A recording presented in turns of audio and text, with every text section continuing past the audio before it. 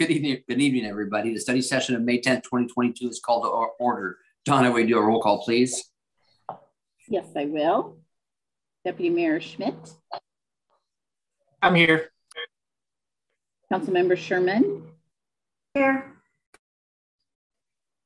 And we already talked about Councilmember Bode. Councilmember Gutierrez. He was there.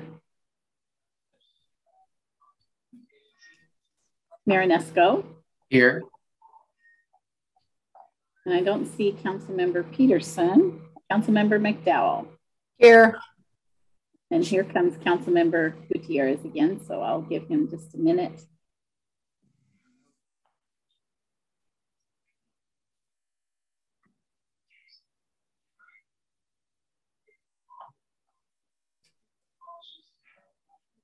I'm doing roll call. Councilmember Gutierrez, are you here?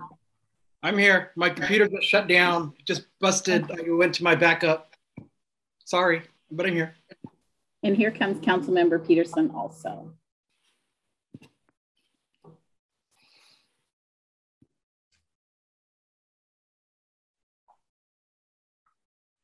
Councilmember Peterson, are you here for roll call?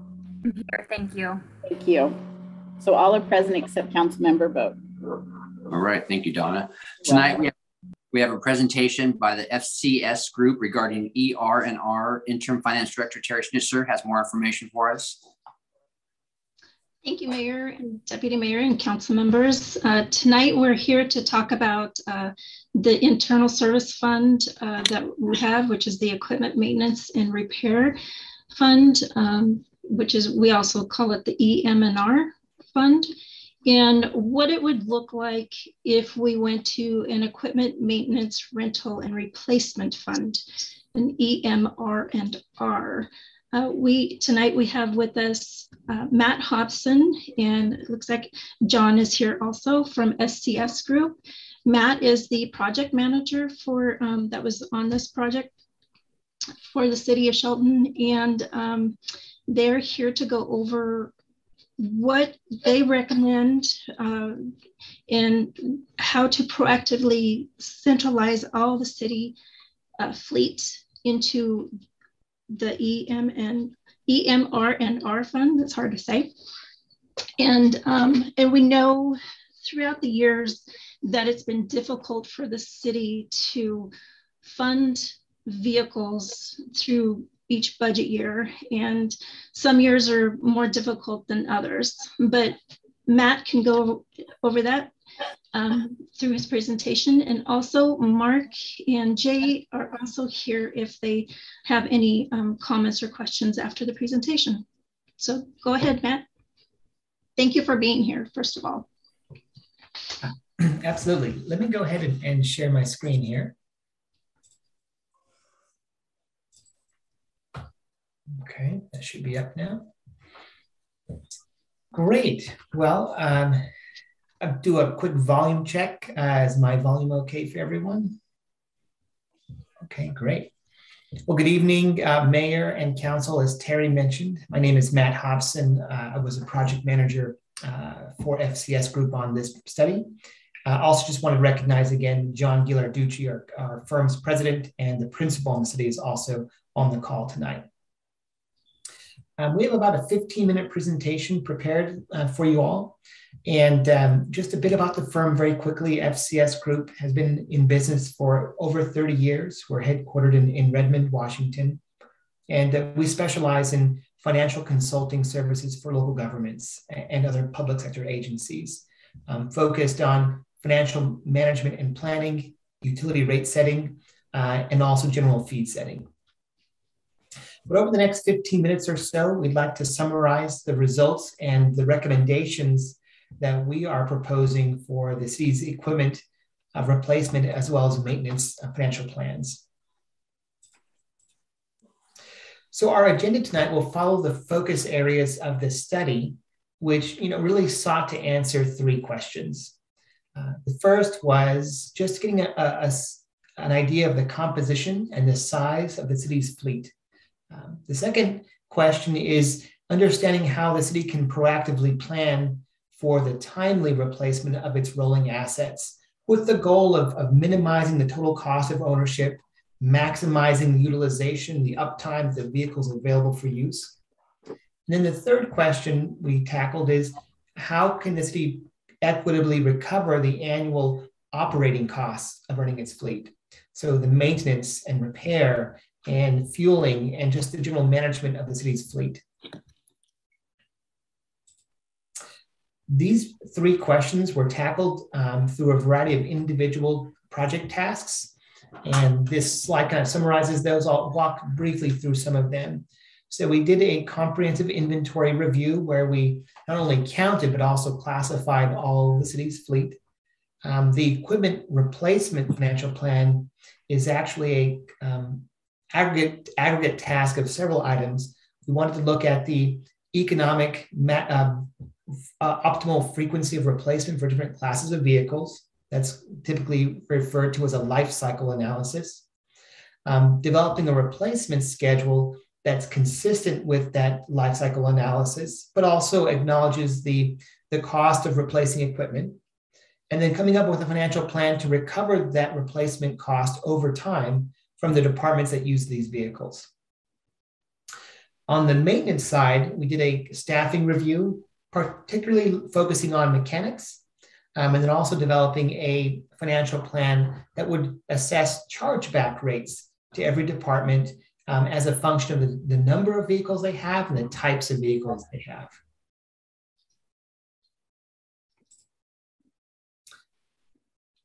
So as a primer for the in-depth look at the city's fleet, I thought it might be helpful first just to provide some context on those general management principles as they relate to fleet management.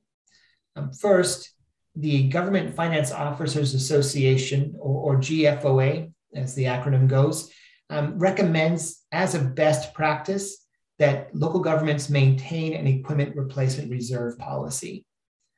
And the reason that is the case is this practice, you know, it really ensures that governments have funding ready to replace vehicles when those vehicles reach the end of their useful life. Um, it mitigates that risk of just-in-time funding that we replace vehicles not only when they're they no longer are functional, but also only when we have funding available. Another principle is that for that reserve to be financially sustainable, the funding levels need to recover not just the original cost of the asset, but need to look forward into the future at what would that asset cost in the future to replace, because that's our funding target. That's how much money we need to have put away uh, when it comes time to replace the vehicle. And then finally, um, maintaining an internal service fund to account for those maintenance and replacement costs is by far the most common financial management tool used by local governments. In fact, in a survey by Government Fleet this year, um, roughly three quarters of surveyed government agencies maintain an internal service fund to manage their, their annual operating costs for their fleet assets. It just provides a centralized accounting structure and management structure to manage um, a wide variety of assets from a, a, patrol car to a dump truck.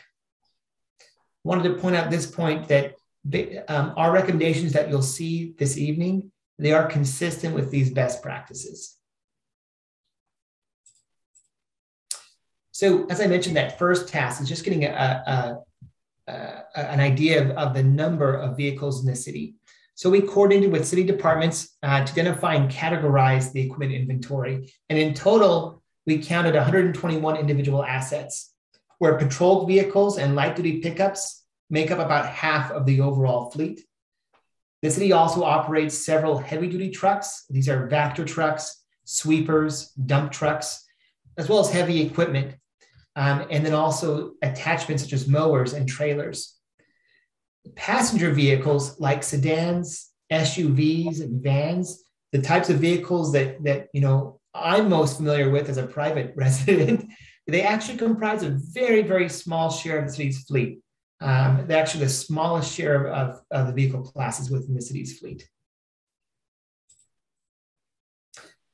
The original cost of the city's owned assets is about $5.4 million. And the average age today of the um, city's fleet is about 14 years old. That's the average. That means some are well over 14. Um, some are, are, you know, 20 plus years old.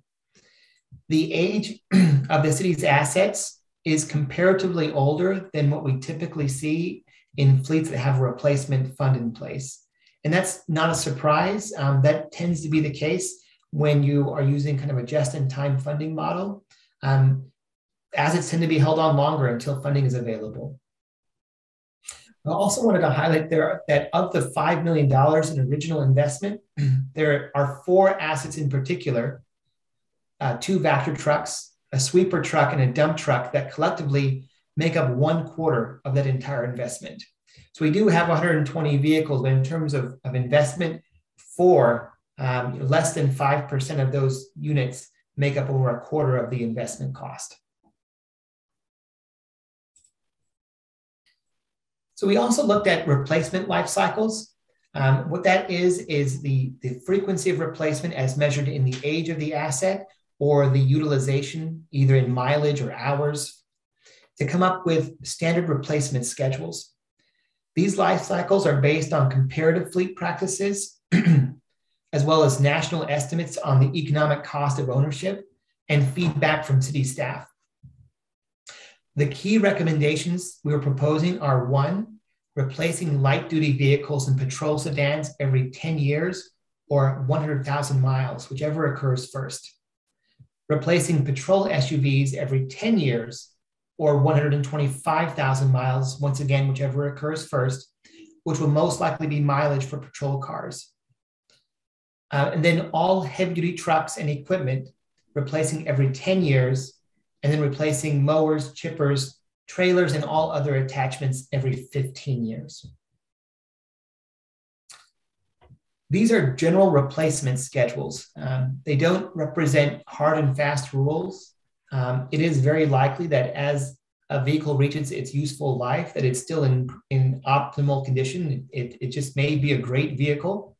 Um, the city has that flexibility to do an annual assessment um, when these vehicles come up for replacement to determine whether they should hold on to it another year. Um, the funding has already been set aside at that point, and so if the vehicle continues to run optimally, then you already have funding put away to replace it when it is when you decide uh, to replace. So based on these replacement criteria, most of the city's fleet is already eligible for replacement. Um, once again, this is not uncommon for a fleet following a just-in-time funding model. Um, however, it's just not financially feasible to replace all of the assets immediately. So we worked with staff to prioritize replacements over the next several years. And this bar chart shows those that smooth replacement plan. The numbers represent the number of units, not necessarily the cost of replacing those units. So I want to point out here, though, that while we would defer some replacements until further into the future, that once each vehicle is replaced, it's then put on that standard replacement schedule so that the city isn't waiting another 15 or 20 years to replace that second go around.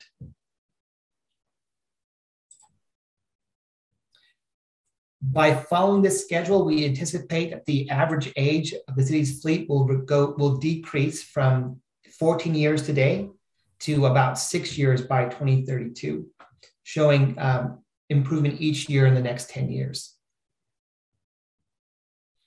And once again, this is the average age, so we do anticipate that you'll have vehicles, you know, eh, above six years and below six years at the end of the time, time period. So the replacement schedule is based on a replacement financial plan that we worked with city staff to develop and it's a combination of three elements that I'll walk through. Um, I'll start with the columns. Turn this on here. I'll start with these columns first and then talk about this black line and then end up with the, the shaded area in the back. The columns represent the revenue sources to fund the replacement plan. The two gray columns represent chargeback rates that would be assessed to departments on an annual basis to begin pre-funding each vehicle's replacement. The light blue part of the column in, is only occurring in the first year of the forecast and is seed money that the city has set aside um, for funding the reserve. And you'll notice in each year of the column, there is this rose column. That represents anticipated salvage sales or resale of equipment as it is sold after um, its useful life.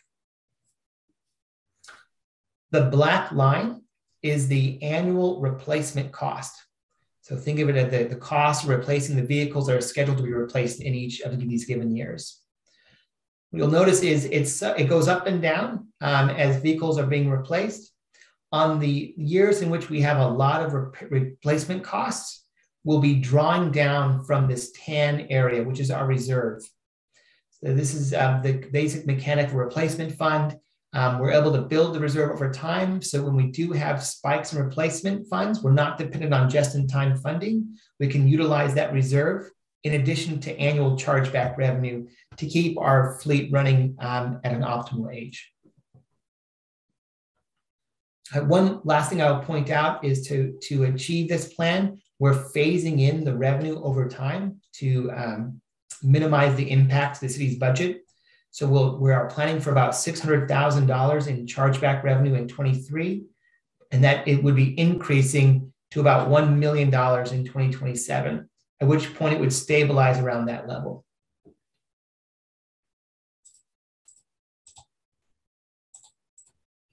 Let's see, now this is not working. Next, there we go. To give you an idea of how that charge back revenue would be distributed across the departments, in 2023, um, the city would need to charge approximately $600,000, of which 20, 32% would be charged to the streets department, 20% to the police department, and then the line, remaining line share going to the city's utilities. Um, the following year, that chargeback would increase to just under $700,000.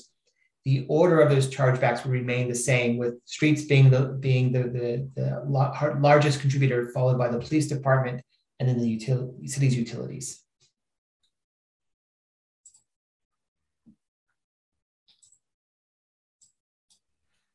I want to stay on the topic, but shift gears just a bit. Um, as part of the, the replacement plan, we did conduct a high level economic analysis of fleet electrification. And that was comprised of three steps. One, an initial screening of the vehicle classes within the city's fleet um, that would be reviewed for consideration. Out the gate, we did not count or evaluate off-road equipment. Um, there is there is very little markets for uh, electric large-scale heavy-duty equipment. Same with non-motorized, just trailers. And then um, we are looking at the potential of exploring police patrol or first response. That would be 30 units. Today, there are not um, there is not a comparable electric vehicle for police patrol. Um, and that left about 51 units that could potentially be explored for immediate electrification. We then conducted a market scan of available electric vehicles. What you find generally is that there's, um, there's several selections for sedans, SUVs, vans, and one example market uh, vehicle for light duty pickups, but very, very limited markets for street sweepers and heavy duty trucks. The final step was actually conducting an economic analysis, looking at total cost of ownership. What the results suggest is um, for those who, who just even dabbled in the market from a, from a private perspective, perhaps investing in a private electric vehicle, is it's, typically more expensive to buy an electric vehicle versus a gasoline vehicle. What we do anticipate though is there's significant cost savings on fuel and potentially on maintenance. Uh, and so looking at the city's composition, what we estimate is that um, acquisition cost, the cost to purchase the vehicle, is about 60 to 100% higher for an EV or, or electric vehicle compared to its comparable gasoline model. Um, however, fuel costs are um, much lower, 66 to 70% lower for an EV vehicle, um, and maintenance is predicted at 40% lower than a gasoline powered vehicle. When considering the total economic cost of ownership, we estimate that the 10 year cost differential uh, to own an EV vehicle ranges from about a 5% premium for an unmarked police vehicle to about a 70% premium for a sedan. And these results are, are not generalized, they're, they're specific to the city's experience. City's the city's vehicles operate a relatively small geographic footprint and don't accrue a lot of miles. And um, it's those high mileage vehicles that are, are able to leverage fuel cost savings. And, and in those cases, you're able to see a much more higher rate of return. In the case of the city's light duty vehicles, the mileage um, and the geographic footprint of the city kind of limits the economic return. Um, we do recommend city continue to monitor, though, this, um, this option as more models enter the market, as well as any changes in state and federal legislation.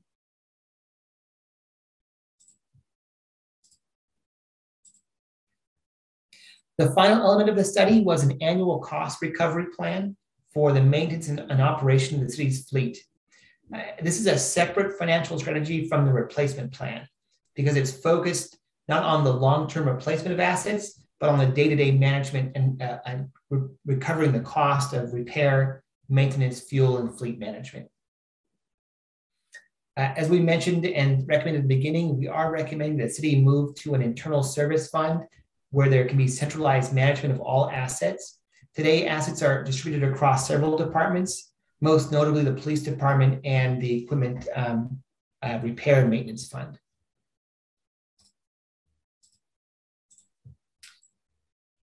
We're also recommending adding one mechanic position for a total of two mechanics.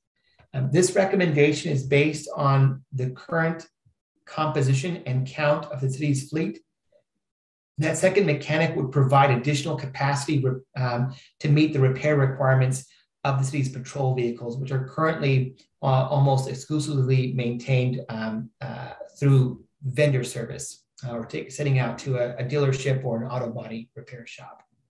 The extra mechanic would provide enough capacity for the city then can only meet its, its non-patrol vehicle maintenance requirements, but also uh, the patrol vehicle maintenance requirements. As part of the maintenance um, financial plan, we also evaluated the annual time city staff spend on other things besides just repair. Um, there's parts ordering, um, inspecting vendor work, maintaining the fuel system, and the general administration of um, related fleet-related uh, uh, billing, invoicing, and um, acquisitions. In total, uh, we estimate about 6,000 annual hours required to maintain the city's fleet.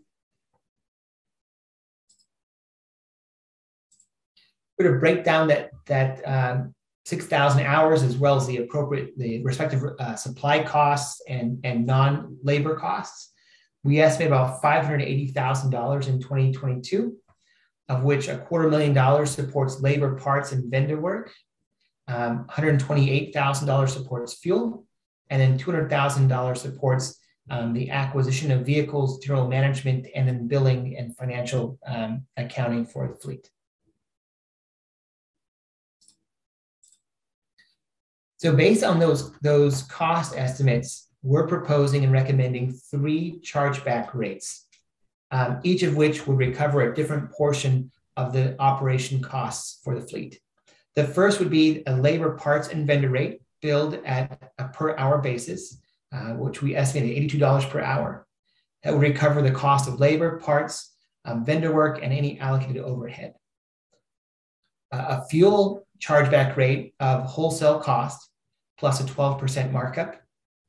And then finally, an administrative charge assessed on a per unit basis or per vehicle basis, which recover the cost of acquisition management, invoicing, um, billing, uh, and general administration of the fleet. That charge would be $1,660 per unit. Similar to the replacement um, funding strategy, we show here is just what an estimate of next year's uh, cost shares by department based on these recommendations, where once again, the streets department would, would um, house the, the largest share of maintenance charges at about 28%, followed by police and then the city's utilities.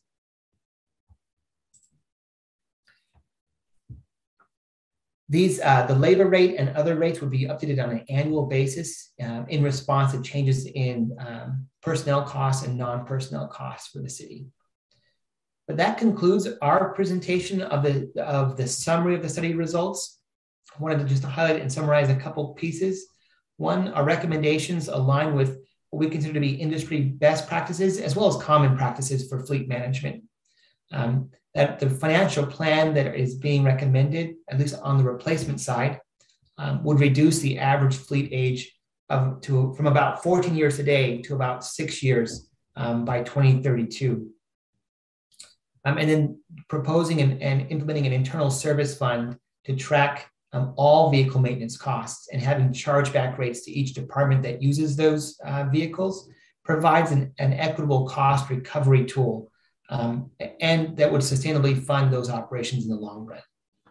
But we're open to take any questions at this point, um, and, uh, and fill those. Thank you.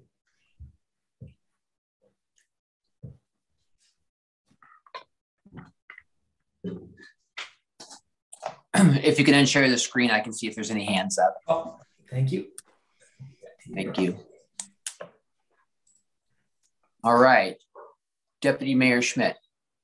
Thank you. Uh, thanks for the presentation. Well done, um, as always, from you guys. I appreciate the thoroughness um, you went through with this. I do have several questions, but I'm going to let others as well kind of jump in. But um, I'm one of the things that uh, sparked the conversation, even around starting the EM&R program, is accountability and management of our assets. And I'm glad you highlighted that point in in the beginning about just-in-time funding um, we were, you know, as we were learning about our assets, especially, you know, patrol cars and other things, um, you know, it, we, we realized we needed to have more of a revolving fund uh, to be able to replace that equipment um, on, a, on a regular basis. Um, one of my questions about the fund is um, essentially, are the, are the revenues versus expenses essentially going to be equal and, basically no no net profit, if you will, to the fund. And is there any additional? Um, in my opinion, there shouldn't be, but are, is there any additional funding support outside of existing budget authority that we would need to provide? So, in response to your first question about kind of a break even, um, because it's an internal service fund, um, the charges into the fund would only go to support replacing of assets. So, there's no no additional um, funding generated for other other source uh, other purposes.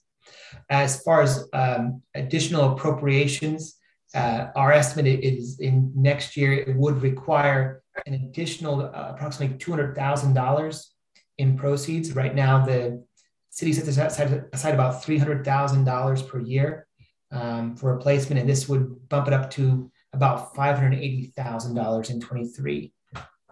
I also want to point out that that's there's a ramp up schedule the next five years, so that within the next five years it'd be about a million dollars, and that's where you'd end up staying about a million dollars each year at that point. So there is, there is a ramp up required to get the vehicles onto that that uh, more optimal replacement schedule.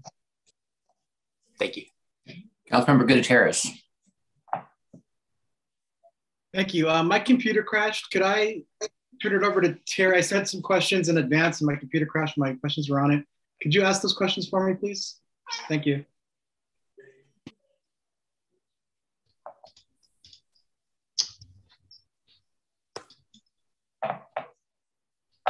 I think the first one was uh, uh, during the, there's a or one of those questions was a fluctuation in gas prices and um, how how would that affect uh, the the savings for an electric vehicle in the future? Yeah, we can certainly run that analysis. Um, the obviously, if, if vehicle, I think the the national estimates that we used, and they're more based on long-term fuel pricing, was about three dollars and a quarter, which is obviously not the price today. Um, running closer to, to five or even six dollars. We can rerun the analysis I, I, will say, kind of high level, I would anticipate that the mileage, the annual mileage, will be the deciding factor. Um, and unless the vehicles, you know, city vehicles like light duty pickups and sedans are going to be um, doubling their usage, it's it, it, that's going to be the deciding factor. But we can certainly run it with a higher fuel price, though. And I think I remember another question was uh, how many of our vehicles are gasoline? How many of them are diesel? And we have zero electric right now. Is that is that what I'm hearing? Yeah, uh, I can follow up on the diesel versus gasoline mix, um, but uh, my understanding is there's not an electric vehicle today in the city's fleet. No, Really there's not. quick. Oh, And I'm sorry, um, Councilmember Gutierrez, I did not receive your email, so I apologize for that. So I'm not for sure what uh, questions that you had. I'm sorry. who essentially manages this and how much more staff time does it take to manage this? Does it need an extra person? Go ahead, Matt. Okay, I- I'll take a stab at this, Terry, and then you can correct everything that I miss mistake. so our, our, our understanding is that the um, the management would be uh, under the umbrella of the Public Works Department, um, and that to do this, there is the uh, w- a fleet management and procurement specialist um, that would be kind of spearheading the general administration uh, of the fleet replacement, the bid packaging uh, invoicing and billing, as well as that new mechanic, um, increasing the mechanic count from one to two. Terry, did I? The pur- The purchasing um, uh, procurement pers- uh, person would be under finance, most likely, and then the mechanic under the ER&R fund or the E fund. All right. Um, I have a off the wall question. We have uh, our officers take their cars home. So that's probably why we have 30, 30 officer vehicles and I believe 18 officers. Is that something that we look at that could maybe uh, help bring that down a little bit? If we did have a fleet of police cars and they come to work and they just take pick a car, Yeah. So so um, w- without knowing specifics, I think the, the the piece that we would look at is uh, one, what is the necessary reserve ratio for patrol cars? If you have patrol cars that are in repair or having body work, usually there's a multiplier of vehicles that to, to officers you would need to maintain. So that would be the first piece we'd look at is um, how many ratio reserve vehicles need to be on standby. And I guess the difference would be kind of the the impact of the take home policy uh, that would be under consideration. Um, one quick one. The admin charge you mentioned, is that monthly or yearly? The $1,300? That's an annual charge. Thank you. And Councilmember or Deputy Mayor Schmidt. Uh, Councilmember Sherman, go ahead. Oh, I see her hand. All right, so this is kind of a two-tiered question. Um, number one, if we do go with electric vehicles for some of these, do we have a location for charging all these vehicles? Is that already set up? So I can take that one. Uh, when we were working on the design for the Civic Center parking lot, we uh, applied for a grant uh, through the state to uh, put in an electric charging station. What we were looking at at the time were electric vehicles for code enforcement because they start and stop, you know, not necessarily police cars, as was mentioned during the presentation.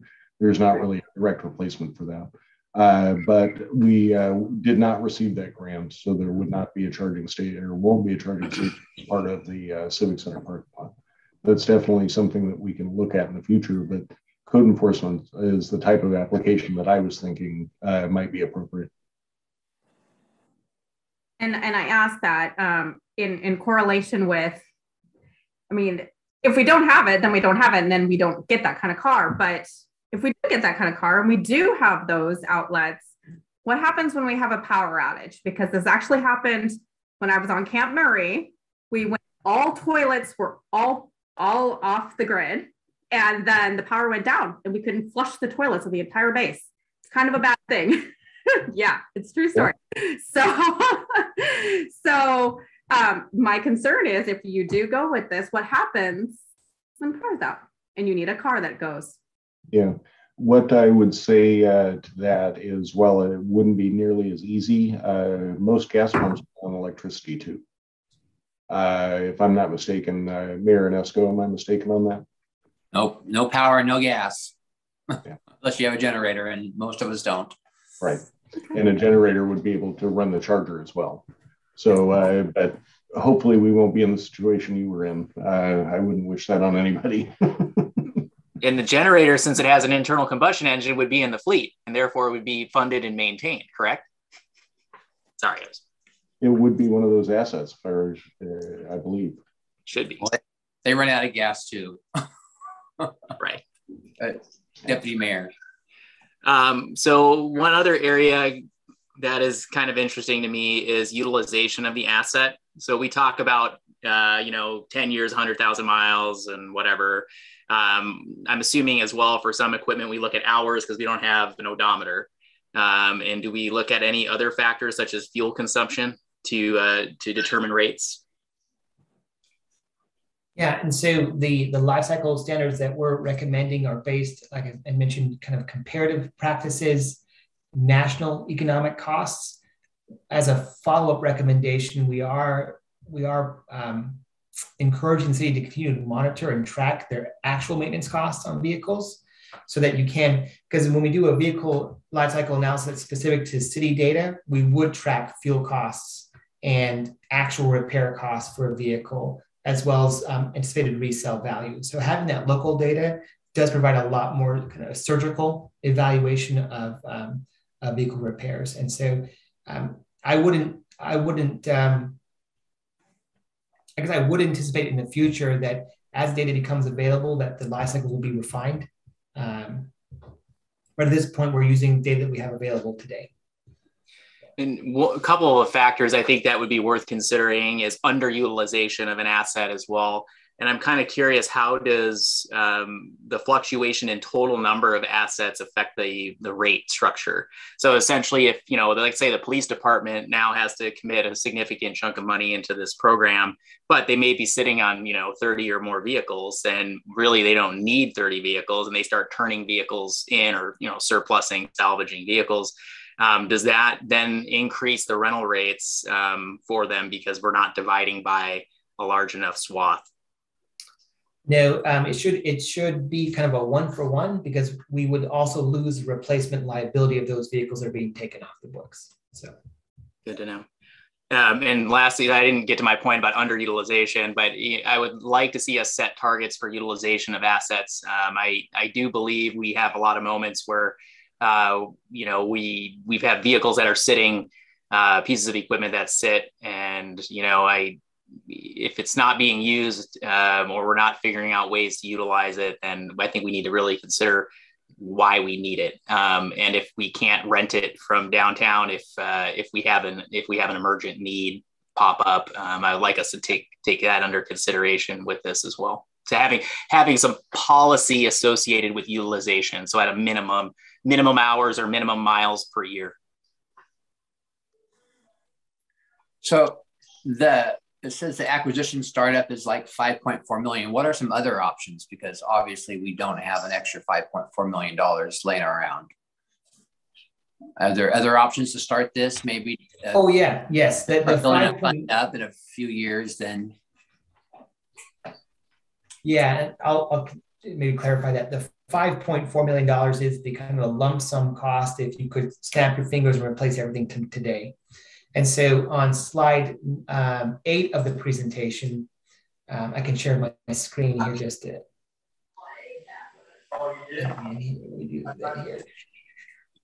I have it. Yeah.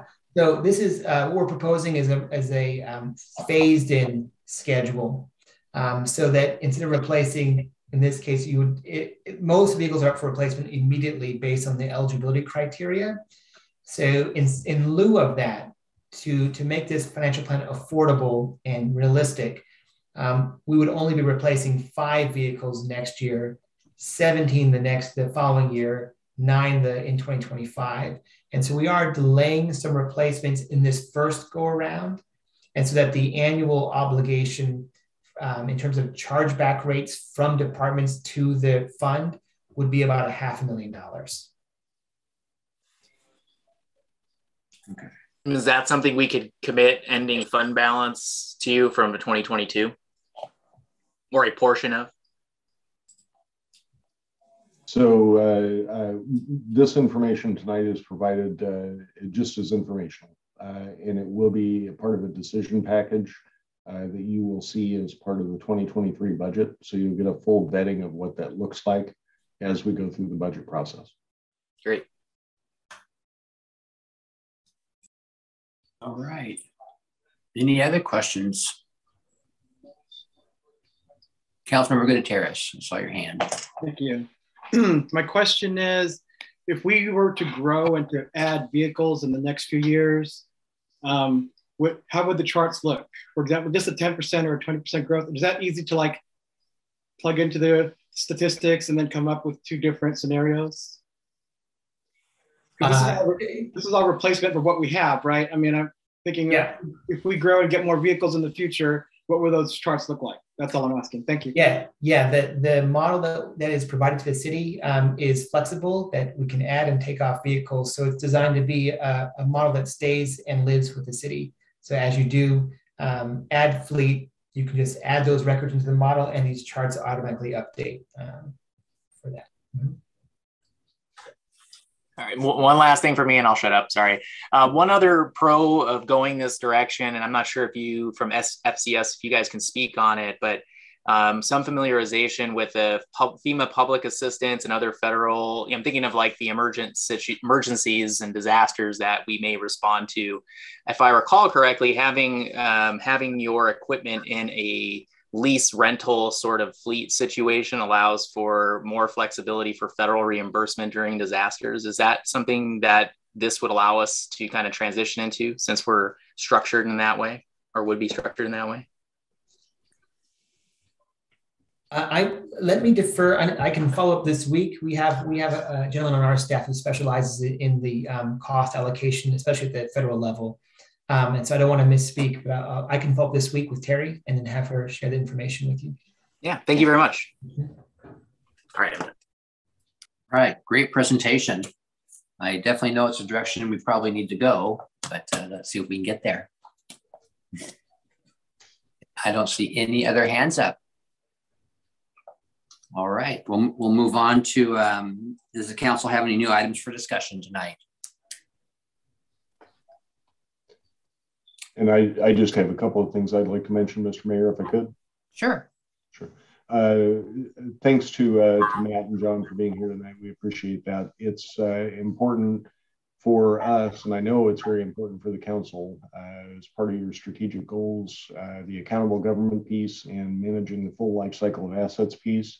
And we wanted to provide you this information so that we, we can ensure that you know that we are looking at every opportunity to be proactive with uh, public dollars. And it looks like a big investment, uh, and it is, but it also saves money over time, over the long term, uh, and provides the people that work with uh, with us here at the city the tools and equipment, the appropriate tools and equipment that they need to do their jobs as best they can.